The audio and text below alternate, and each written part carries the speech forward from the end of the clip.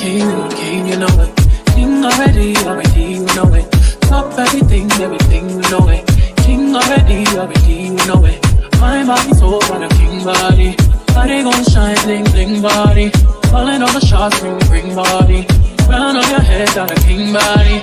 Oh, the king, you a king, guys, welcome back to my channel. If you're new here, my name is Berlin. On today's video, I am going to discuss what to expect when starting your locs with two strand twists.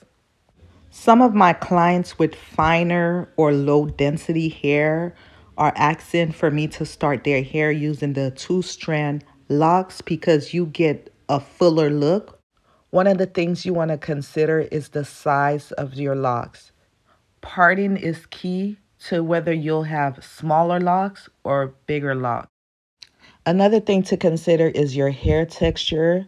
I find that tightly coiled, kinky hair texture tends to lock a lot quicker than the loose, coiled, curly hair. The locking process can take anywhere from six months to about two years to lock.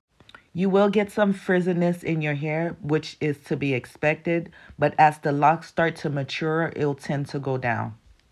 What can you do about the frizz? You can wrap the hair around, but that's just a temporarily fix. But I would say to allow locs to mature. So as you can see, the two strand locs has its advantage and also its disadvantage. So I just gave you a few things to consider before you decide to get your two strand locs. Um, I'm hoping that this video was very helpful. And if it was, don't forget to like, comment, and subscribe.